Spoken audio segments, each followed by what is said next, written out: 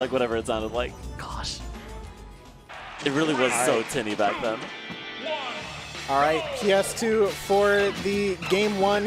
both both players starting things out by pulling the banana, but Infernape uh, opting opting to just go in and instead be the one to press the advantage first.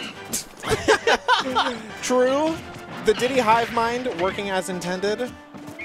Listen, listen, it's just respect at this point, all right? We can't play if there aren't bananas. The the Diddy handshake, as it were. Yes.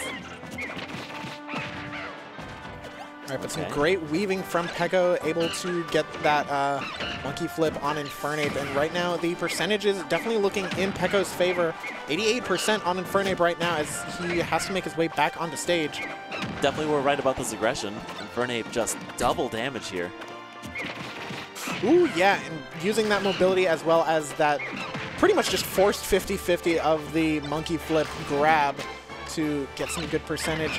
Being said, though, the percentage is starting to rack up for Peco. 78% right now. Infernape starting to find his footing. Infernape really having to take some notes here and press the advantage just a little bit more. I noticed that like when Peco was off stage, Infernape opted to just go center stage and get a banana. I'm like, eh, should have very, pressed. very risky uh, barrels from ledge by Infernape, especially with a, a character as good of like burst range as Diddy Kong. You know, Peco's going to be ready for that, Uh-oh. All right, especially in both just a first stock situation. I feel like that's kind of a mix-up that you want to save like for your last stock. Right. Tensions are running high, but right now, Peco not phased at all. We're trading bananas right now. That's true. Battle of the bananas. Uh-oh. All right, the Z drop to try and catch the neutral get up, but Infernape is able to make it back. Now trying to set up some ledge trapping of his own. Okay, easy claps. All right, back to the ledge trapping. I love Wow, the, the aerial banana. from Peco and able to get that second stock. Now Infernape still unable to find the first one. Looks like uh, Peco, if they keep this uh, aggression up, they are going to take a clean uh, three-stock game. Maybe. I mean, the percentage is continuing to rack up. Forward air definitely not going to be doing it from center stage. And the banana pressure bouncing off of the shield, keeping Infernape unable to set up any sort of meaningful ledge interaction. Oh uh. my god, the reaction from Peco to throw the banana as soon as Infernape tried to pull his. Monkey flip finally out there. Okay. Infernape just... I feel like Infernape's just letting Peco get away with too many things. I Has to be aggressive. I mean, I don't know because Peco has been reacting to the aggression so well. We saw, I mean, even right there, even though Infernape did get the stock, Peco still reacted to the monkey oh flip. Oh my god. Ooh. Okay. Thought he was going to do it again. All right. We're seeing him wake up. Let's go, Infernape. Infernape definitely, definitely looking a little more awake right now. That being said, though, right back into this sort of mid-screen neutral. Peco is the one with banana in hand, which means Infernape not going to be able to find his own. Uh-oh. All right, monkey flip back onto stage, and I think that was Wow. Peco's Nice mix-up. Yes, it was. Unfortunately, Infernape not even able to convert a kill off of that. Oh, what patience.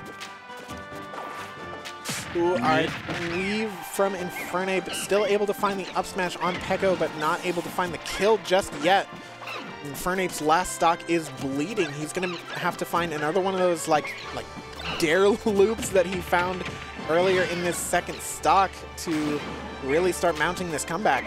Oh, well, Peco's got a little bit of red on him, too. Yeah, that's and gonna be doing it. oh, Both players just leaned back out of frame. Like, ugh. we got to see two walls. Look, it's so hard. You're playing against your main. There's always a bit of pride when it comes to that, right? Like, it's like looking in a mirror. It's like, am I as good at this character as I think? I mean, so at- it, it hurts a little to lose. to at that point, you know, there's no there's no blaming the game. No, no, that's all you. There's no like, oh man, Wii Fit sucks. Whose fault it is all my money is gone? It's me. All right, but game two, here we go. Peco already out with a very, very aggressive opening. Absolutely, and the dash dancing as well, keeping in uh, the monkey flip kick range, keeping Infernape uncomfortable at this ledge. I mean, I'm uncomfortable just looking at these monkey flips actually hit every single time. The bane of my existence. It's it's a pretty good move. Well, All right, Peco now being the one having the two bananas, but trading back once again. I like how none of them have their bana own bananas at any time. It's always the others. Yeah, you can see even right there, Peco tried to pull a new one, but Infernape was holding on to it. Actually, that is a good strat. Just hold on to their banana. They can't use it. Can't pull out a new one. Don't throw it away. It's useful. Peco just running back and forth, throwing the banana, trying to catch something on the way down, but Infernape not biting and getting these little chip damages here and there, but it is looking rough for Infernape's first stock. The down tilt uh, up smash, not going to be finding it, and as well the forward air either. Oh, Infernape trying to make something happen. 150, it is good rage. Ooh, but it's also good death percentage. Yep, another whiff punish coming out from Peco, catching Inf Infernape actually being the one to swing first.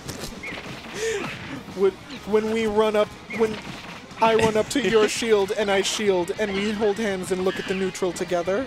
Do you ever miss Smash 4? I don't actually. Aww. Oh boy, here it comes.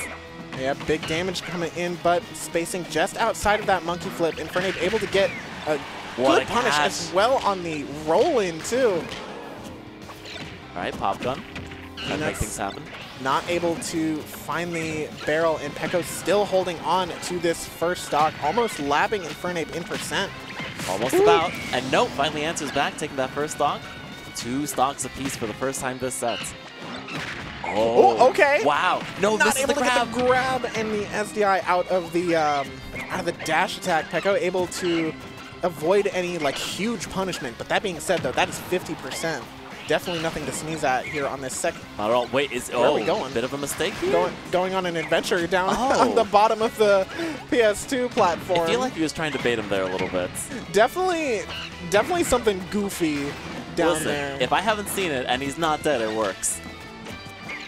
Uh -oh. I mean, we're we're just right back to this neutral. What a reaction from Infernape to use the uh, invulnerability to avoid that up smash.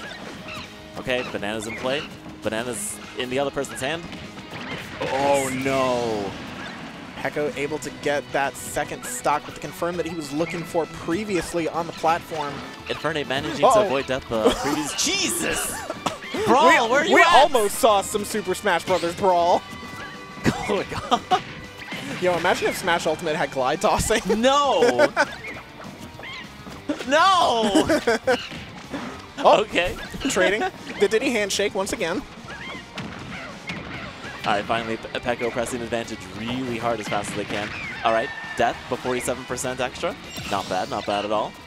Bernabe looking to close out this game, bringing it to a game three. And Infernape definitely with a bit more uh, a bit more momentum than he had in game one. But is it too little of a shift too late? We have seen some amazing plays here, especially with the grab game. While Peco has been aggressive with their fists, their feet, he's been impeccable with his grabs. Yeah, Infernape as well just having some really great confirms, especially at the lower percentage with the uh, like uh, banana into grounded dare. Infernape taking a few notes from Peco, using monkey flip to their Oh! advantage. Oh my god, what a delay. Okay, neutral air. Little short monkey flip there. Banana back. Trading the banana back and forth. Here, I think you dropped this. No, no, please, please, it's yours. Take it. Please, I insist. Oh, oh the Aw. double banana slip I into the charged F smash. I see what Infernape was trying to do. He did a lot of those like delayed get-ups to try and like read a reaction from Peco. It worked the first time on uh, the platform, not the next two times, and Peco was expecting it at that point. Not a bad habit to have, especially because most people don't do those delayed get-ups, but Ooh. oh no, he rolled in. I apologize. Ah, Rolled in, and that is going to be Peco moving on 2-0 to fight Fawn in losers finals. I did have somebody tell me the other day that most New York players tend to roll in towards the character instead of out.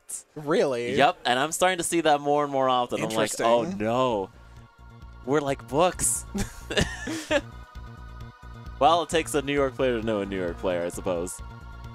I guess. I want I want to see some some studies on that. Okay, there, look, listen. You college kids who are taking your finals right now, I, I know you're at home watching the stream, all right? This, and this you're is like, your finals are starting, and I still haven't picked a, a topic for my thesis. exactly. This is This your is- thesis right here: the psychology of roll-ins in Smash, or defensive options, maybe. Look, there's a cap.